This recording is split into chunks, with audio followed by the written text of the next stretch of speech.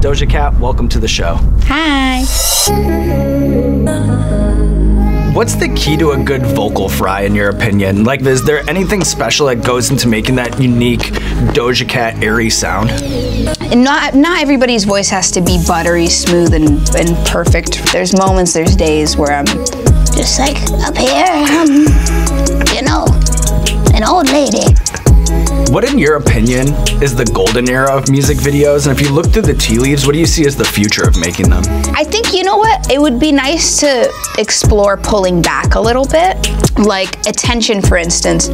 I'm wearing jeans and a t-shirt.